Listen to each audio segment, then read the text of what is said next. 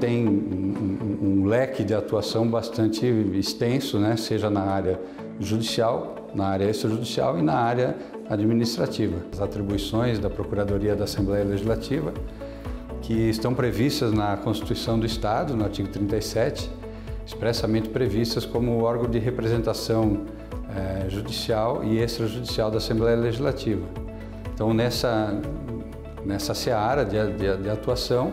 nós temos também, a, além dessa, dessa atuação, nós temos também a atuação na área interna da Assembleia, a área consultiva, a área administrativa.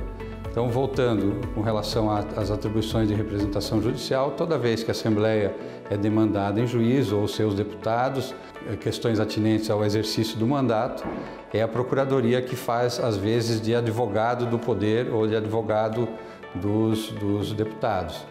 É, então, nessa seara, nós temos demandas é, relativas a ações diretas de inconstitucionalidade, ações é, mandamentais, né, mandados de segurança, todas as, as, outras demandas na seara extrajudicial, mas que a Assembleia também atua, é, quando instada pela Procuradoria do Estado para informar processos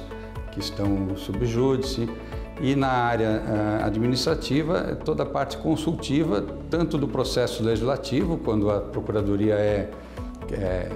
questionada né, a se pronunciar através de pareceres,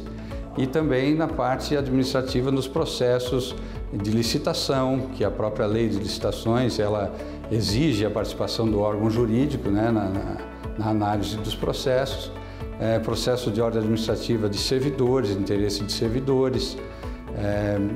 consultas que são feitas pelos órgãos, é, é, demais órgãos da, da, Assembleia, as consultas que são feitas, a Procuradoria também atua nessa, nessa seara.